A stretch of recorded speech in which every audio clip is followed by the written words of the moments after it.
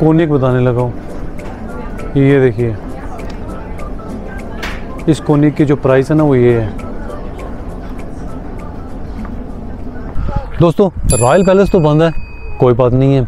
लेकिन मज़ा काफ़ी आया। लोग काफ़ी आए हुए हैं। लोग पार्क्स में बैठे हुए हैं, जो धूप का मज़ा भी ले रहे हैं। तो मंडे है बिज़ी मंडे भी है। लोग अपने काम पे भी गए हुए हैं, लेकिन टूरिस्ट यहाँ पे काफ़ी ज़्यादा आए हुए हैं। तो हम ऐसा करते हैं, अब अब चलते हैं कुछ खाने के लिए। तो एक्सप्लोर तो मुझे लगा मैंने करवाया। थोड़ा बहुत तो जो करवाना था वो मैंने करवाया। लेकिन अब टेस्टिंग की बारी है। अब मैं मिलता हूँ सीधा आपको टेस्टिंग पे। यानी कि पहले कुछ अब खाते हैं। तो चलें वहाँ पे। चलो।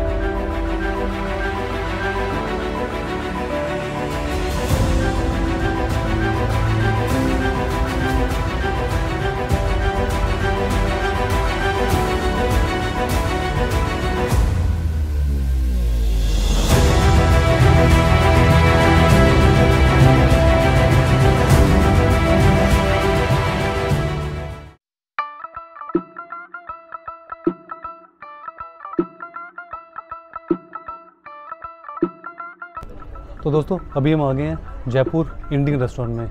तो अगर इंडिया से बाहर हो, अगर अचानक आपको कोई इंडियन रेस्टोरेंट मिल जाए तो उसको क्या कहना है? तो ये बुफे सिस्टम है।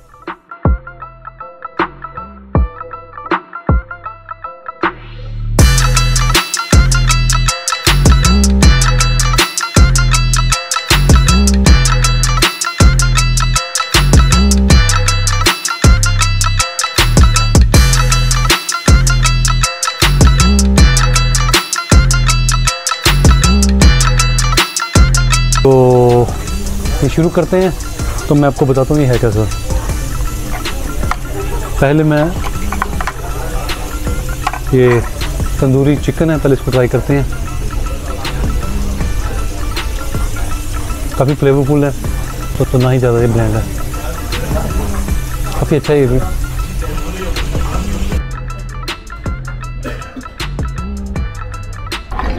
तो चलिए दोस्तों अब इनकी लैम ट्राई करते हैं लैम और चावल। देखते हैं ये कैसे हैं।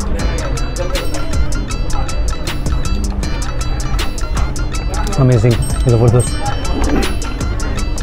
काफ़ी ज़बरदस्त है इसका पूरा इंडियन फ्लेवर आ रहा है बिल्कुल इंडियन जैसे घर का घर का खाना होता है ना वैसे ही बना हुआ तो मैं ज़रूर रिकमेंड करूँगा अगर आप यहाँ पे आएँ तो ये पक्का ट्राई करना है काफ़ी अच्छा है बिल्कुल घर वाला टेस्ट है ये एक्चुअली जैसे हम घर में बनाते हैं ना सादा वैसा ही है काफ़ी अच्छा है अमेजिंग मैं आपको ज़रूर रिकमेंड करूँगा कि आप यहाँ पर ज़रूर आएँ अगर इंडियन फ़ूड के शौकीन हैं ऑफकोर्स इंडियन फ़ूड के शौकीन तो सभी होते हैं। लेकिन अब अगर आप वही रॉयल पैलेस की तरफ़ जाएँ तो उससे पहले आपको ये द जयपुर इंडियन रेस्टोरेंट मिल जाएगा। तो 11 बजे से लेकर 3 बजे तक ये बुफे होता है। आप आके तो यहाँ पे इंजॉय कर सकते हैं। तो टाइम हो गया है एक बजकर तीस मिनट, यानी कि डेढ़ बज के हैं। तो हमें हमारे शिप में पहुँचना है लगभग सवा दो बजे के करीब करीब तो इसका मतलब हमारे पास अभी 45 मिनट्स पड़े हुए हैं। तो खाना फिनिश करते हैं। तो दोस्तों, खाना हमारा यहाँ पे हो गया है। खाना काफ़ी अच्छा था। बिल्कुल इंडियन घर घर जैसा खाना था। तो मैं आपको ज़रूर रिकमेंड करूँगा कि अगर आप यहाँ पे आएँ तो इस रेस्टोरेंट में ज़रूर जाएँ। ये कोई प्रोमो नहीं है। ये कोई मैं कोई ऐड नहीं कर रहा किसी की, लेकिन हाँ खाना वाकई में बड़ा अच्छा था। तो चलिए, अभी टाइम हो गया, हमारा दो बज गया ऑलमोस्ट तो हमें ढाई बजे से पहले पहले हमें अपने शिप में जाना है।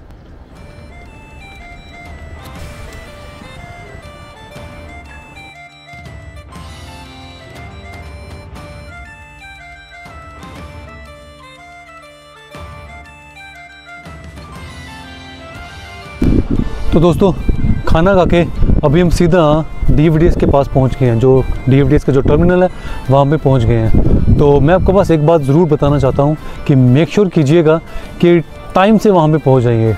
क्योंकि अदरवाइज़ ये ना हो कि आप वहाँ पे देखते रहें सामान और यहाँ से शिप आपका छूट जाए।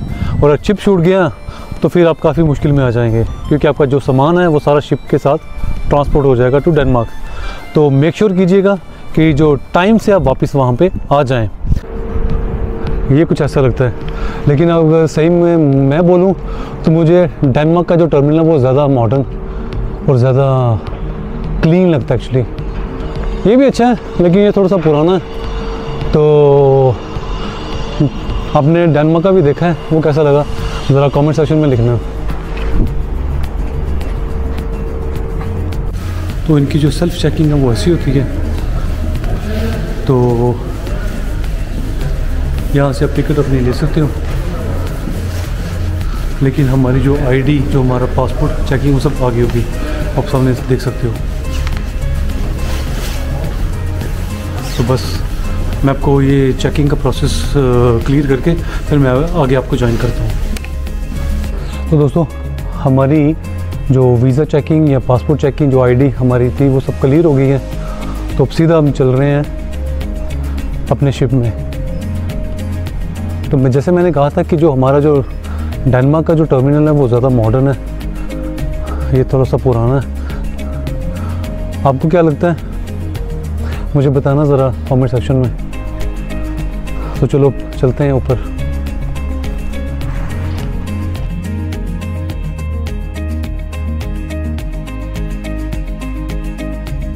तो दोस्तों, हम नॉर्वे पूरा घूम के या हौसलो पूरा घूम के आ गए हैं। तो पूरे टाइम से आए हैं एक्चुअली टाइम हुआ अभी दो बजकर चौबीस मिनट। तो उसका मतलब ये है कि जितना भी जो टाइम था, हम सारा पूरा वो यूज़ करके तो सीधा यहाँ पे आ गए हैं। तो मैं आपसे ये रिक्वेस्ट ज़रूर करूँगा कि जब भी आप इस टूर पे आएँ, इस अगर अगर आपको पता है कि आपको वापस उसी दिन वाप जाना है तो मेक श्योर कीजिएगा कि टाइम से शिप में आ जाएँ। अदरवाइज़ अगर वो शिप छूट गया तो आपके लिए काफ़ी ज़्यादा मुश्किल आ जाएगी। दोस्तों ये सामने आप जो देख रहे हैं ना ओपरा हाउस ये जितना भी जो एरिया है इसको कहते हैं ओस्लो फ्यॉर्ड या ओस्लो हार्बर और पुराने टाइम में जो शिप थे वो यहीं पे आके लगते थे। लेकिन आज के टाइम में ये काफ़ी मॉडर्न हो गया है। आप बिल्डिंग्स देखिए यहाँ से। काफ़ी ज़बरदस्त लगती हैं।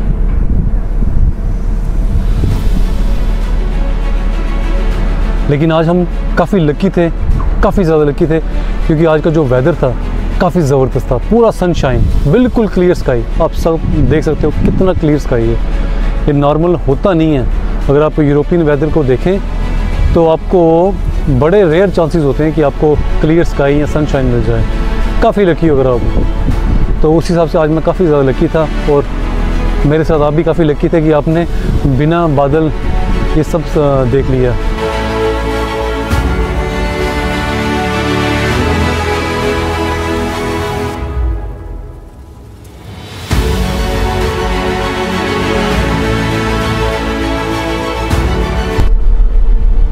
तो दोस्तों, तीन बज चुके हैं शिप हमारा निकल चुका है टूवर्ड्स कोपनहेगन तो वो सामने रहा ओस्लो हम उसको छोड़ चुके हैं।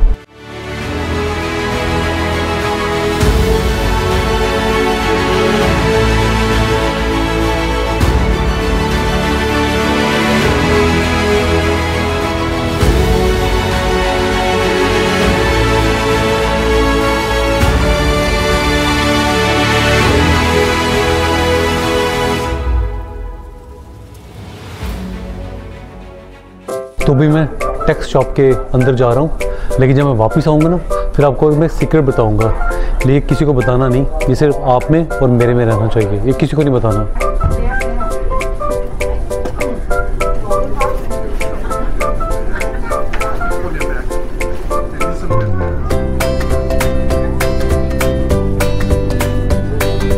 ये main section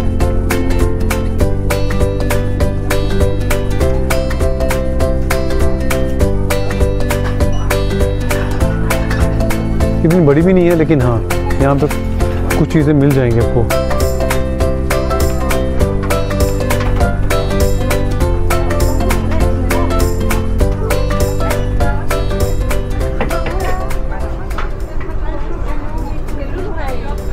J B L के जे बी एल के ब्लूटूथ स्पीकर्स हैं यहाँ पे।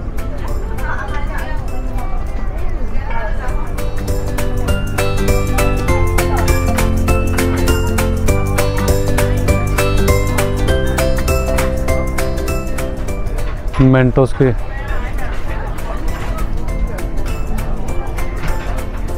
फ्राया। ये नॉर्वे की चॉकलेट है ये।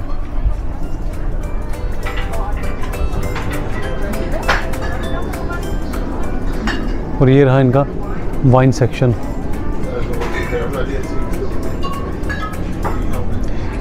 ये सारी बियर्स लगी हुई हैं। ये सारी वाइन्स लगी हुई हैं।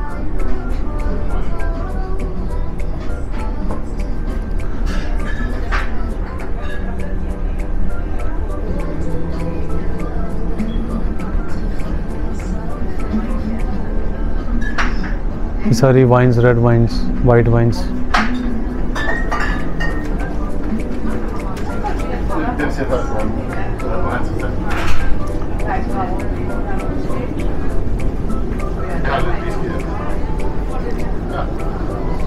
अच्छा आपको मैं एक कोनिक बताने लगा हूँ। ये देखिए। इस कोनिक की जो प्राइस है ना, वो ये है।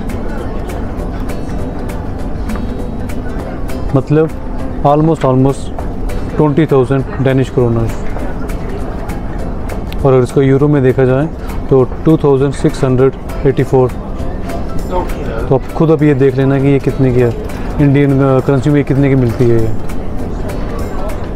एक ये भी है। और इसकी प्राइस देख लेना। इसकी प्राइस है eighteen thousand five hundred ninety nine Danish kroners में।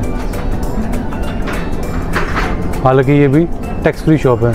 और अगर यही अगर आप बाहर किसी वाइन शॉप में लेने जाओ तो मुझे लगता है ये बहुत महँगी हो जाएगी। एक ये भी है। इसका प्राइस देख लीजिए। हालाँकि मैं इतना एक्सपोर्ट तो हूँ नहीं कि ये क्या, कौन सी है, क्या नहीं है, ये मुझे नहीं पता, लेकिन हाँ मैं सिर्फ़ आपको ये प्राइस बता रहा हूँ कि इतनी महँगी महँगी प्राइस चली जाती है यहाँ पे।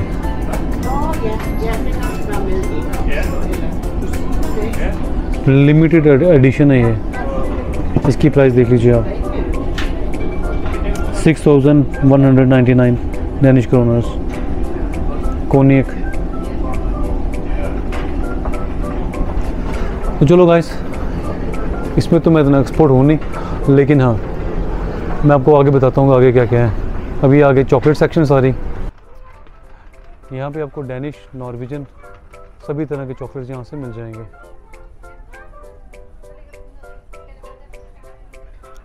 बच्चों के लिए भी है।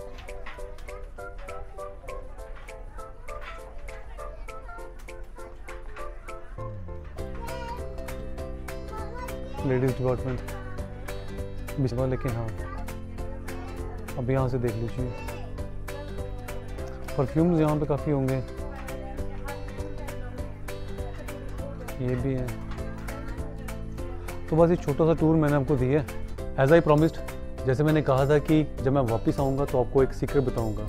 सीक्रेट ये है, किसी को बताना नहीं। सीक्रेट ये है कि इस क्रूज़ की एक पॉलिसी है कि अगर आप टैक्स फ्री शॉप से 1500 डेनिश क्रोनर्स की शॉपिंग करते हैं तो आपको एक वाउचर देंगे। ये वाउचर जो होगा, वो वाउचर होगा आपको फ्री टूर यानी कि फ्री ट्रिप यहाँ से डेनमार्क से लेकर नॉर्वे नॉर्वे से फिर से डेनमार्क ये आपको देते हैं।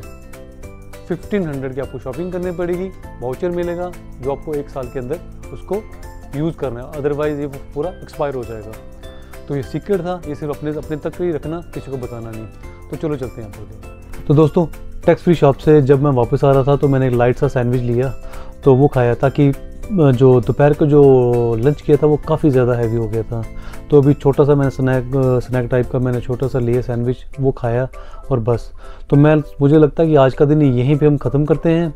तो कल सुबह जब ये शिप कोपेनहेगन पहुंचेगा तो फिर मैं आपको आगे ज्वाइन करूँगा।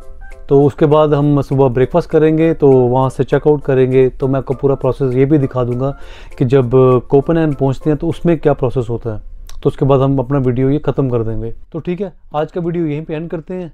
तो कल सुबह मिलते हैं। तो शुभ रात्रि।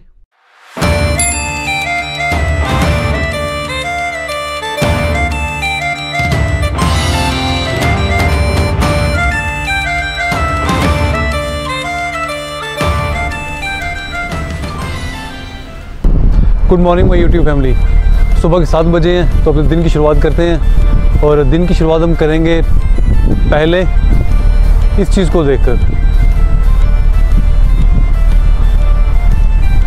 मेरे पीछे आप देखिए, कितना अच्छा और कितना सुंदर लग रहा है वॉट ए ब्यूटीफुल व्यू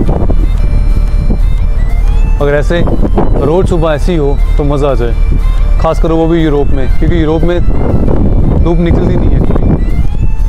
तो चलिए, दिन की शुरुआत करते हैं आज। और ब्रेकफास्ट हमारा सात आठ बजे के करीब शुरू हो जाएगा।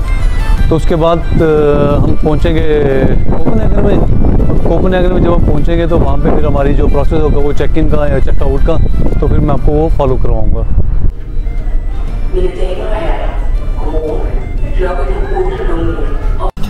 चलिए, दिन की शुरुआत करते हैं और दिन की शुरुआत अच्छे ब्रेकफास्ट से शुरू करते हैं। और इन डैनिश ब्रेकफास्ट काफ़ी अच्छा होता है ये भी। चलिए।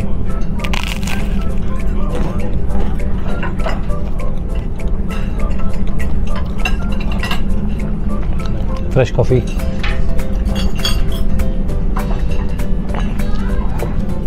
और सामने जो आप देख रहे हो, वो है स्वीडन मेन्यू उनका सेम ही है, जैसे कल था। तो कुछ डिफरेंस नहीं है, लेकिन हाँ ब्रेकफास्ट इनका अच्छा होता है। ज़बरदस्त ब्रेकफास्ट होता है इनका।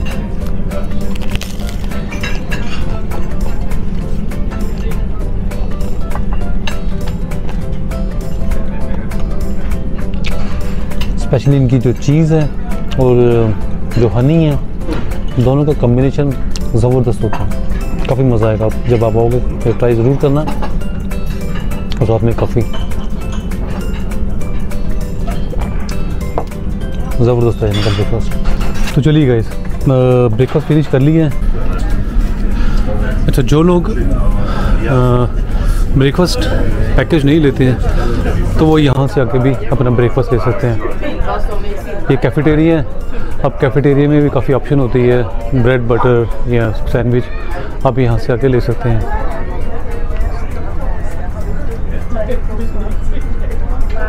तो आप देख सकते हैं कि लोग काफ़ी बैठे हुए हैं। जो लोग वहाँ पे नहीं जाते तो यहाँ पे आके बैठ सकते हैं।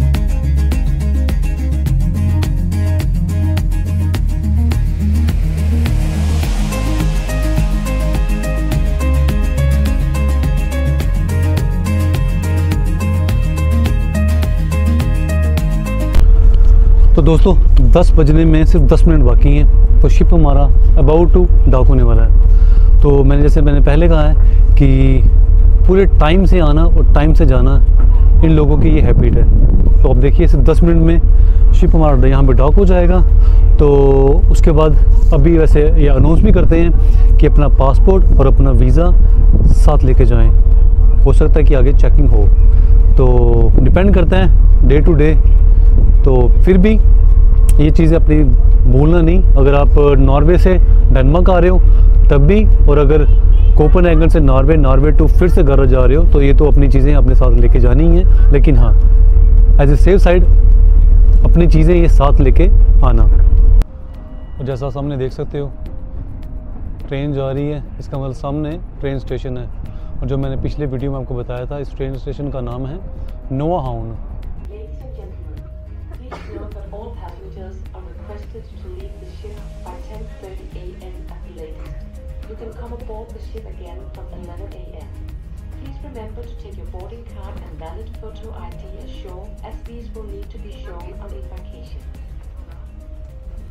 तो ये अंदर वाले जो कैबिन होते हैं वो ऐसे होते हैं?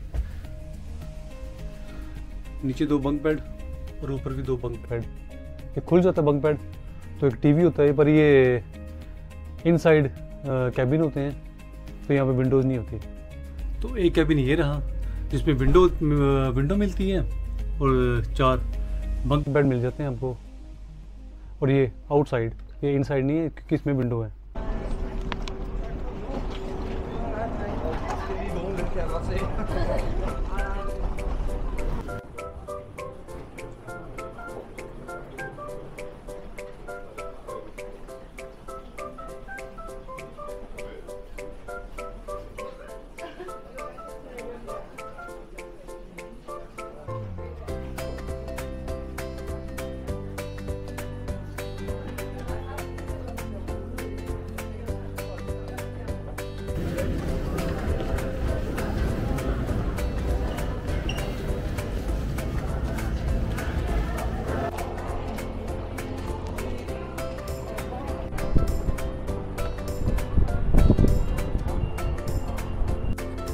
तो दोस्तों अभी हम शिप से बाहर आ गए हैं। जो पासपोर्ट चेकिंग होनी थी वो हो गई है। तो बस अब यहीं से अपना वीडियो ख़त्म करते हैं। लेकिन जाने से पहले मैं आपको ये ज़रूर याद दिला दूँ कि होपफुली आपको ये मेरे जो कुछ टिप्स थे कुछ इन्फॉर्मेशन थी वो आप इसको यूज़ कर, सके जब भी आप डेनमार्क आएँ या डेनमार्क से ओस्लो जा रहे हैं। तो मेरे इस वीडियो को ज़रूर याद कीजिएगा शेयर कीजिएगा। और एक बात और ये मेरे चैनल का पहला वीडियो था जो इंटरनेशनल था।